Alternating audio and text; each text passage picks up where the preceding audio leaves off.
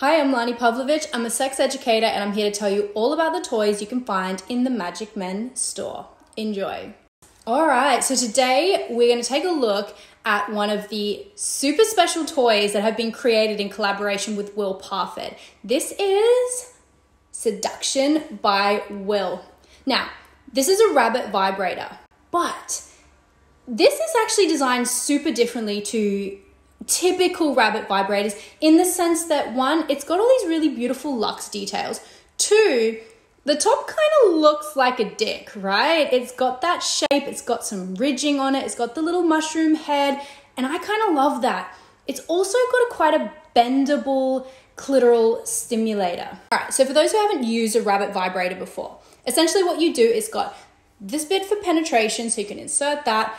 This bit goes over your clit and it provides like a stimulation. So you're kind of getting that G spot hit, clitoral hit, and it's like an all in one. So you lay back, put her in, position her, bam, good to go.